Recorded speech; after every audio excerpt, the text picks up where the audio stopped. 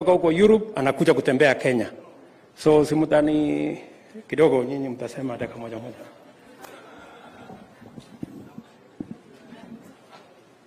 Mheshimiwa Rais, Mheshimiwa Naibu wa Rais pamoja na viongozi wote walioko hapa siku ya leo pamoja na watu wa Makindu, Bwana Yesu asifiwe.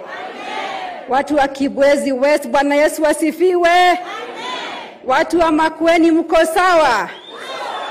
Asante sana. Mimi ningependa kumshukuru Mungu kwa nafasi ambayo ameweza kutupatia tufike hapa kwa hii siku ya kupanda miti.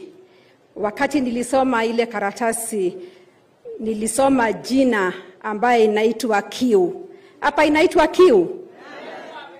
Kwa hivyo nashukuru leo, maana rais pamoja na viongozi wote wamekuja ili watu wa Makueni wasikuwe na kiu tena.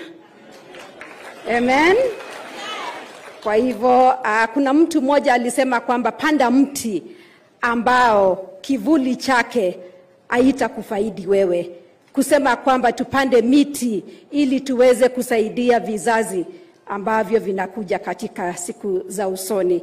Kwa hivyo wakati rais amekuwa akitembea, ameongea na watoto wadogo, na mimi nasema kwamba hawa watoto ndio sana sana watafaidika kwa hii miti ambayo tumepanda, na tunasema kwamba hatupandi tu miti bali tunakuza miti. Kwa hivyo tutatembea kuhakikisha kwamba sasa amesema tuongee, alafu tena amesema ni nyamazi.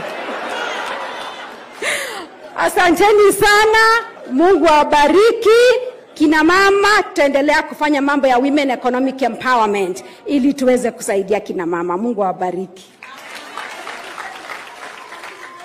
Bwana asifiwe. Asanti sana Mheshimiwa Rais na makamu wako na watu wote wetu wa Kibwezi West. Bwana asifiwe. Unajua kama rais amesema sisi ni kusema, na pia girlfriend amesema, mimi kazi yangu ni kusema tu Mungu awa